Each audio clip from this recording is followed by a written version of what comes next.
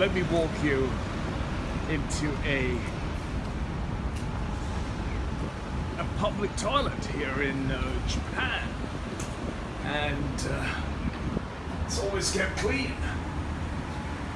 It's kept clean at all times, and it's all automated. It's got the facilities for the less possible humans as well as for less possible life. There's a possibility as just to still this toilet paper in this public lavatory. Yes.